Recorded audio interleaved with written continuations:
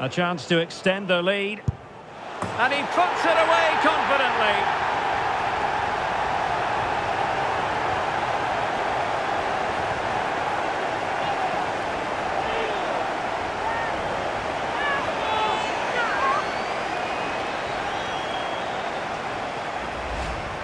Well, here it is again. He makes it look so easy. The keeper dives slightly early, and he passes it into the other side.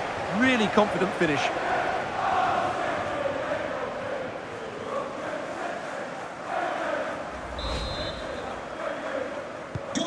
So the current scoreline, 4-2. Fabier.